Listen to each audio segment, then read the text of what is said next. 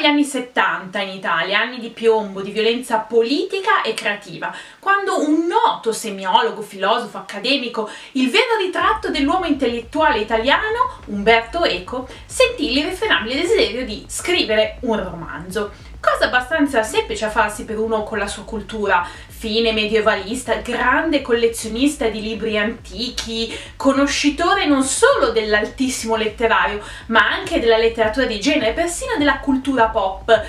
era semplice per un uomo così scrivere un romanzo, ma perché farlo? Era già riconosciuto a livello accademico internazionalmente per il suo essere uomo di lettere, lettere dotto. Eppure Umberto Eco non riuscì a resistere a questo impulso nel 1980 arrivò come un fulmine a ciel sereno nelle librerie italiane e del mondo Il nome della rosa, il suo primo romanzo, il più famoso, quello che gli diede fama internazionale e globale, che rese Umberto Eco quello che conosciamo ancora oggi, quello che è scomparso nel 2016, non solo una figura dell'altissima letteratura e cultura italiana, ma anche una figura capace di rapportarsi al pop, alla televisione, ai social, a Mike Buongiorno. Il punto di svolta della sua carriera, forse della sua vita letteraria, è stato proprio questo romanzo. Eppure nel 2016 Umberto Eco è morto rimpiangendo di averlo scritto, dicendo persino di odiarlo il nome della rosa. Un romanzo che con il senno del poi trovava un po' goffo, non sempre ben rifinito, addirittura errore imperdonabile con qualche imprecisione storica. Eppure il suo giallo storico, ambientato nel novembre del 1327 in un'ignota abbazia dell'Italia settentrionale, rimane il suo capolavoro. Il fatto che lui lo odiasse e che nel 2012 abbia dato alle stampe un'altra versione riveduta e aggiornata ne conferma questo status. Di fondo il capolavoro cosa è se non quel libro che continua anche dopo essere stato pubblicato, dopo aver avuto successo, a tormentare il suo creatore, a chiedergli di essere riscritto, di non rimanere mai troppo lontano dalla sua scrivania? Il nome della rosa è quel capolavoro, lo era 40 anni fa e lo è ancora oggi, nel 2019, quando Rai ha deciso di tirarci fuori una serie. Ma vale ancora la pena leggere il nome della rosa nel 2019? La risposta è assolutamente sì. E non solo perché è forse l'ultimo grande classico del Novecento letterario italiano, un classico che Venne riconosciuto forse già negli anni 80 come tale, fu di sicuro un tormentone letterario, un libro dirompente che ebbe un successo incredibile e nonostante negli anni poi sia diventato un po' l'immagine più vivida del tomone che tutti dicono di aver letto, ma in realtà quasi tutti si sono informati con il film, rimane una lettura piacevolissima, intrigante e secondo me facilmente accessibile per chi legge abitualmente romanzi. D'altronde non stiamo parlando solo di un tomone con delle parti in latino che parla di una diatriba squisitamente politica e religiosa, ovvero il fatto che il Papa è arrabbiatissimo con una corrente dei francescani perché sostanzialmente predicano così tanto la povertà da farlo sembrare un ricastro avido e quindi vorrebbe scomunicarli e quindi l'ordine dei francescani si trova in un'abbazia con gli emissari di vari ordini per tentare di decidere cosa fare e quindi ecco Guglielmo da Baskerville, questo personaggio fittizio il cui nome e la cui descrizione fisica richiama Sherlock Holmes, arrivare in questa abbazia seguito dal fedele Azzo da Melk, che è quello che racconta la storia in questa pergamena ritrovata un po' con l'espediente manzoniano che viene raccontata da Eco che ci dice Azzo eh, da anziano quando sente già l'ombra della morte decide di raccontare questa storia di quando lui era giovane e io la racconto a voi. Sherlock Holmes, Manzoni i riferimenti letterari sono tantissimi, perché di fatto questo è un libro autenticamente degli anni Ottanta, un libro postmoderno, un pastiche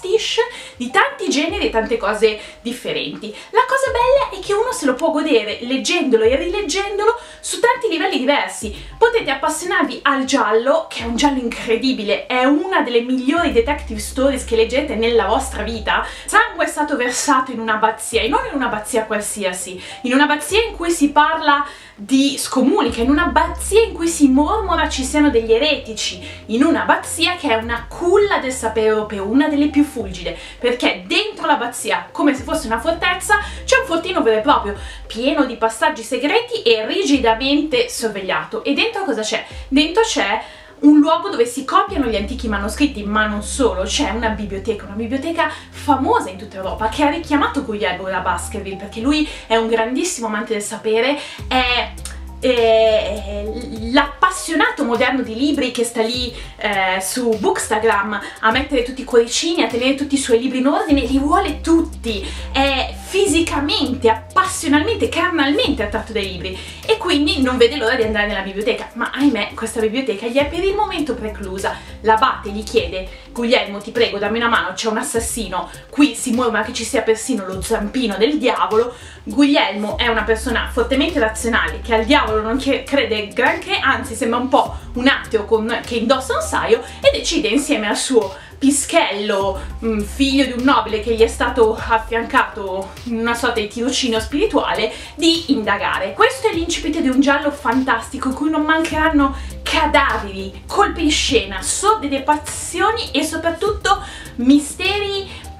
riuscirete a poco a poco a penetrare mm, solo grazie all'acuta intelligenza di Guglielmo. Sono misteri costruiti per essere affascinanti e indecifrabili, però sono assolutamente agili nell'essere proposti, l'assassino è molto bravo a sgusciare dalla vostra attenzione e una volta che scoprirete chi è stato rimarrà uno dei finali che non riuscirete a dimenticare. È un libro cesellato a poco a poco da una mente non solo sapientissima, ma anche diabolicamente intelligente. Basta dire che la famosa libreria, che diventerà un'avventura dentro l'avventura del libro, è stata ideata ben con un mese di lavoro da tavolino di Umberto Eco che si è messo lì e per un mese ha pensato come costruire questa libreria ricolma di libri anche un po' proibiti. E quindi uno si può leggere l'avventura investigativa di Guglielmo come se fosse fratello Catfield, saltando tutte le menate dei frati, degli ordini religiosi, delle eresie, delle scomuniche, le parti in latino e goderselo ugualmente.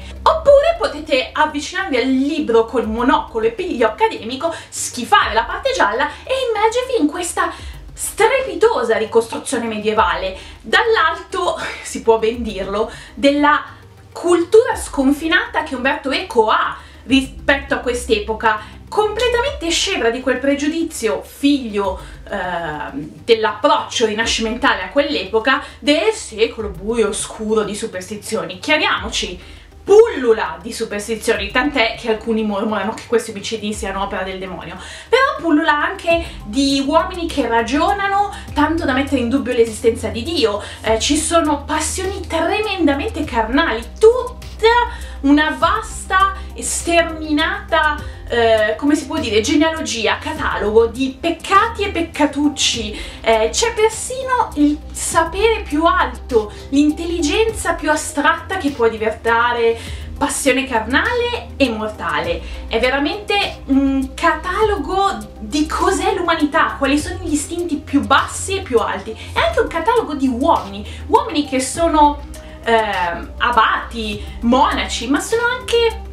vividi, reali, è un catalogo di facce bruttissime, scavate eh, dalla malattia, eh, dalla vecchiaia, dalla povertà, dall'ignoranza, ma anche elevate dal loro stesso acume e spirito, perché ci sono menti formidabili, oltre a quella di Guglielmo, che passeggiano per questa abbazia. E poi c'è la purezza della gioventù, il coming of age di Azzo, eh, che al fianco di Guglielmo eh, scopre a poco a poco, in maniera dolorosa, in maniera romantica, in maniera indimenticabile, cosa significhi essere adulti, fa un po' di luce sulla verità del mondo oltre lo stereotipo. E poi, per tutti i bibliofili, Il nome della rosa è imperdibile perché è un libro sull'amore per i libri, uno dei più belli mai scritti, che esalta non solo la sete di conoscenza che viene soddisfatta leggendo i libri, ma anche il libro come feticcio, oggetto fisico. Guglielmo potrebbe essere tranquillamente uno che parla del profumo della pergamena, ma anche come ossessione, collezione, dannazione, che rende il libro un oggetto vuoto, che viene accumulato, che genera avidità